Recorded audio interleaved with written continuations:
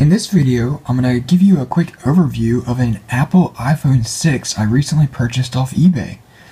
Now, there is quite a story behind this phone actually. Um, so, um, this is a Sprint 16 gigabyte model. However, it is unlocked, and I will explain that in just a minute.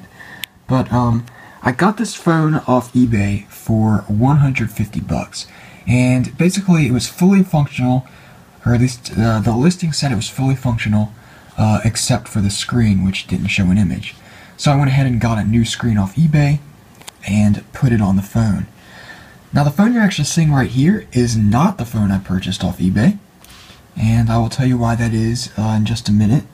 But um, after putting on the screen, uh, or after putting the screen on the iPhone I did purchase off eBay, uh, that got it mostly working. However, um, one thing that I found wrong with the phone, or actually two things, was um, for one thing, the uh, Touch ID sensor, uh, the home button Touch ID sensor, uh, didn't work. Now that could have been for one of two reasons. Um, one reason is the home button I got with the phone um, wasn't original, which is most likely. But another reason could be a bad home button cable. So basically, uh, for those of you who have never seen what uh, how these are put together, uh, basically the home button plugs into another cable which goes along the back of the screen and then um, connects along with the other three connectors uh, right about here. And basically when I removed the original uh, metal backing off the original screen, there was a little bit of glue um, in one section of the cable, which I think uh, caused it to rip when I pulled it off. So I'm not sure if that if it actually ripped or not, but um, that's my best guess.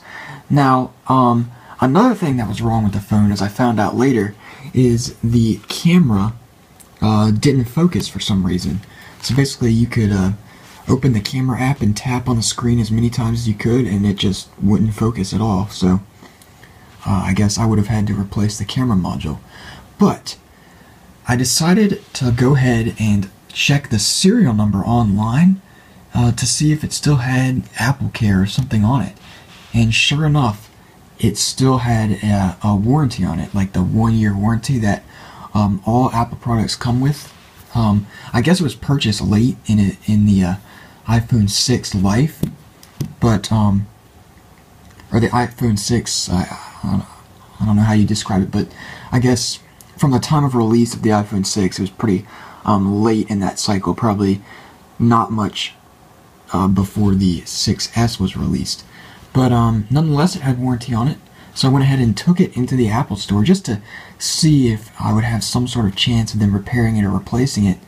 And luckily for me, um, they actually replaced the phone, even though um, it has a it had a non-original screen and possibly a non-original home button. They still replaced it, which was um, quite awesome. So basically, I got a perfectly functional, brand new iPhone 6 for 150 bucks.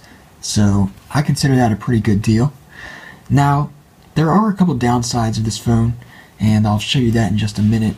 But um, one of the main things that concerns me about this is the storage.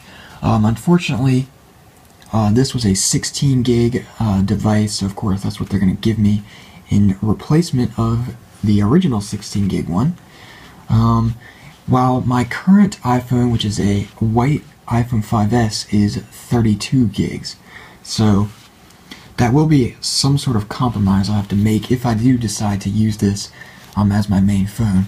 Oh, one thing I forgot to mention, and I'm sure you've noticed this by now, but uh, this is a uh, gold iPhone 6, so that is quite nice. I do like the gold color, it looks very nice. But, um, of course, since this was a replacement, it is a fully functional phone, so I'll go ahead and uh, unlock it. Now I do have um, all my stuff on here already because uh, because I did intend to use this as my main phone for a bit, but um, I did have trouble putting all my uh, stuff on it, which, uh, of course, because it is a 16 gig phone. So let me just go ahead and show you that. Let's go to Settings, General, About, um, and you can see there uh, that the capacity is 11.9 gigs, and I currently have only 4.1 gigs available, which is not bad. I mean, I can definitely live with it, and I most likely will end up doing so because even if I did decide to sell this phone, um, I probably wouldn't have much of a chance of ever finding one in this good a condition again for a decent price. So I am most likely going to keep and use this as my main phone. Now one thing I did mention earlier was that this is indeed a Sprint model iPhone 6 and um, I did actually attempt to unlock the original one that I had. However, Sprint claimed that it was attached to a Sprint account and um, couldn't be unlocked unless uh, I was the original owner of the account the phone was attached to. Um, well, of course, I'm not uh, that. I don't have Sprint and I'm not the original owner of the phone, so there was no way I could have done it. But luckily, when I got the phone replaced, uh, of course, it's no longer attached to a Sprint account because it is an entirely new device. So I went ahead and called up Sprint again.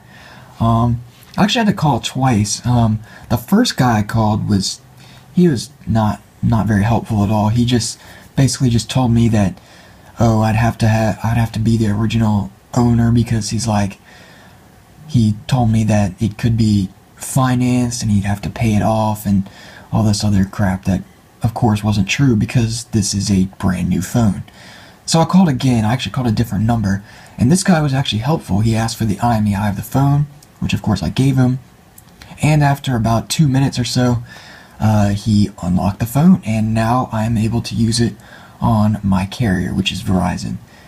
So I am totally capable of using this as my main phone, and I most likely will do so, despite the 16 gig um, limit that I have on it. So yeah, I'm overall very happy I got this phone, and even if I don't end up using it, I will definitely be able to sell it for a decent amount. So that is an overview of my Apple iPhone 6. Hope you enjoyed this video.